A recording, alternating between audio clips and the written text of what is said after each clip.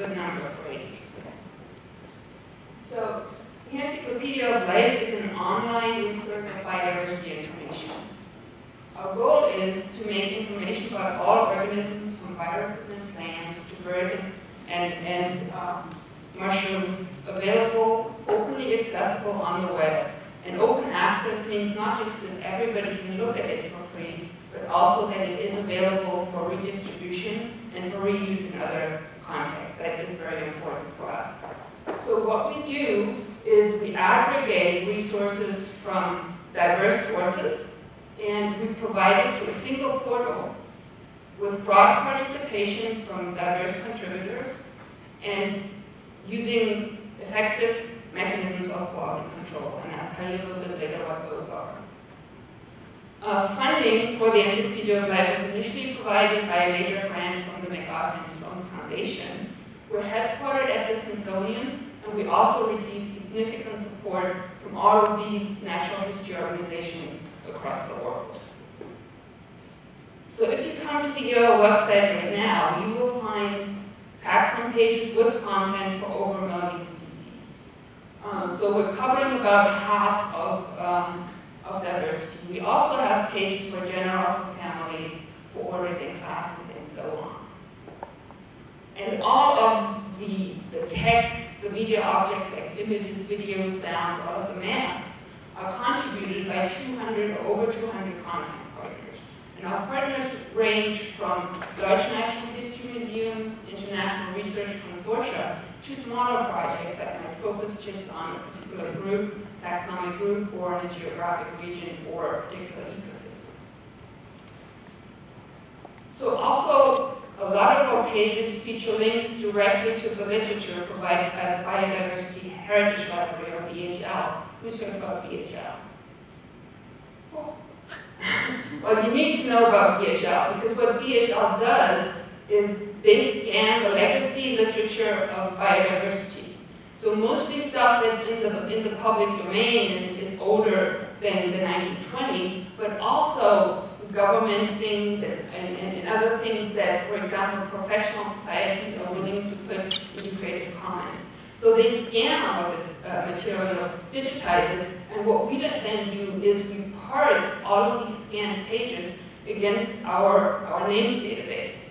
And then on every one of our taxon pages, if a name has been mentioned in the scanned literature, we put a link directly to it from the literature tab under the Biodiversity Heritage Library heading. So go to our taxon pages, look in that tab, and you'll see a listing that goes directly to the page in a scanned book or, or a scanned journal where you can read about the species because it's mentioned right there. So EOL was conceived as a global project. We want to provide access to biodiversity knowledge, not just for English speakers, but for people all over the world that have access to the web. And in order to achieve this, we have partnered with uh, international organizations all over the world. So our global partners usually focus on their particular region and they do their own content development efforts. But they help us to manage information in all kinds of different languages and also to acquire it. Information in all these different languages is also translated and shared between the regional encyclopedias and with the, with the global EOL site. Also, our global partners, they provide their own funding. And so at, at the moment, our, our efforts to really go global in a big way are still under development. So, so when you go to the EOL site right now, you only find a limited number of languages. But thanks to our partners at INBio, CONABIO, and Yavin, we already have information uh, in Spanish for over 15,000 species. And thanks to our partners at the New Library of Alexandria, for example, we have information in Arabic for over 1,000 species. So in addition to being an encyclopedia where people can just look up things, EOL is very much also a social networking site. It's a place where people come, where people congregate to collaborate and to exchange ideas about biodiversity. So for example, all over the site you will find these news feeds where you can see what people are talking about, what people are collaborating on on the site. For example, we also have these loosely formed in casual communities where people can talk about particular projects or have discussions. Uh, for example, here's one where we, we worked on supporting the recent Aurora BioBlitz. We have um, communities that recruit beta testers for new biodiversity tools and applications. There are endless possibilities. Another cool thing that people can do in EOL is build collections. EOL collections are nothing more than just a list of links to EOL materials. This can be a list to just a taxon page. It can be a list to a particular image, a particular video, particular sound file on, on, on the site, or even to a, a person's profile, a, a, registered user or an organization on, on the site. So what people use this for is, of course, to organize EOL content from a personal point of view. For example, we get lots of people that come and make collections of the things that they've seen in their yard, or the things that they grow in their garden, or things that occur in, in their local park. The likeness of birds, or the birds that they want to see in the future, all kinds of things like that. Other people build collections to tell stories and share their knowledge. You can well, for each um, collection object, you can provide an annotation to, to tell people what you mean by it or, or to tell uh, the story that's associated with it. Also, a lot of people just use collections as scrapbooks to, to create links to materials that they then use for a particular classroom or research project. So collections are great fun, and looking at other people's collections is great fun too. Also, on EOL, people are not just limited to consume the content that's provided by scientists. On the site, actually, everybody's invited to contribute content themselves, text, images, media, whatever. For example, on each of our taxon pages in the detail tab, where all of, all of the text lives, there is a button up, up here that says add an article to this page. And all you have to do to use it is create a free EOL account. And then whenever you provide text information to EOL, we'll ask you first to specify the subchapter. And for that, you select from a list of 50 topics. We probably still have some work to do to accommodate ethnobotanical content, but you know, provide feedback, help us, and, and put comments on the site so we can develop a subject catalog to meet, to meet the, the needs of your community.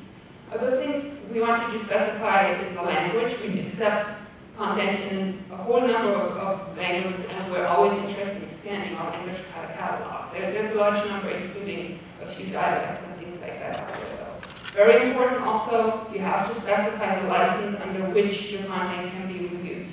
We don't accept our as reserved, it has to be a Creative Commons license. And then when you enter your text and your references, and you save it, it will be on the taxon page immediately. It will appear on that page as soon as you save it. Another thing that this community would be very cool to have help us is to develop our database of common names. We already have several thousand common names in all kinds of different languages, but we, we could use a lot of help. Especially cool to have more common names for economically significant plants. That would be really nice. If you're interested in contributing videos, sounds, images, um, easiest way to do that is through one of the popular media sharing sites. So we currently harvest uh, media files from Flickr, YouTube, Vimeo, Wikimedia Commons, and SoundCloud. And we have groups on, on some of these. For others, we just basically parse everything that's there and, and pick out things that, that are taxonomically tagged. Um, and through our Flickr group alone, we already have over 100,000 images on EOL, very high quality images, beautiful that greatly enhance the collection that we get from our scientific partners, which often give us you know, images of, of preserved specimens. So it's great to get all of these live uh, wildlife images from our Flickr contributors. So for a project that accepts contributions from so many diverse sources, of course, quality control is a major issue. So the way we address this is that all information that comes to us from scientific sources or projects coordinated by scientists is pre-trusted on the site and gets marked as a, as, as a trusted object. Whereas information that comes from the public, from people we don't know, is marked as unreviewed. So we get this mixed collection of pre-trusted stuff, of stuff that is unreviewed, and then we let our community provide the, the quality control. The pre-trusted stuff, it's pre-trusted, but it's still open to debate because scientists make, make mistakes too. So on the site then, you have the site members, registered members, over 50,000 of them. They can participate in quality control by rating things and by commenting on things. But we also have a network of over a thousand professional scientists and naturalists who are registered as curators on the site review the information that comes in on the groups that they're interested in, and they actually have the power to trust unreviewed information and also to untrust both unreviewed and previously trusted materials. So everybody can participate, but only the, the curators, which are credentialed scientists or master naturalists that have accomplishments either through their work in EOL or through their work in, in their own communities, or communities out there, um, can participate too at, at the curator level. And in general, on EOL, trusted information is displayed much more prominently, while unreviewed information, users usually have to draw down a little bit to find it, but it, but it is completely available.